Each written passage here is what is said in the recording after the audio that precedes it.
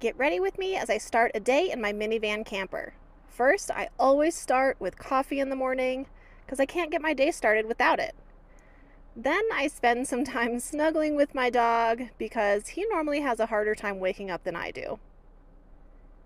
Then I make sure that my solar is plugged in so I can charge up my power stations. And I make sure they are appropriately set up in the sun so I'm getting maximum energy. Then I start to put stuff away, like my tea kettle and my coffee bin, so I can clean up my van. My bed is a mess, and I always like to get it made before I start my day so I feel nice and clean and ready.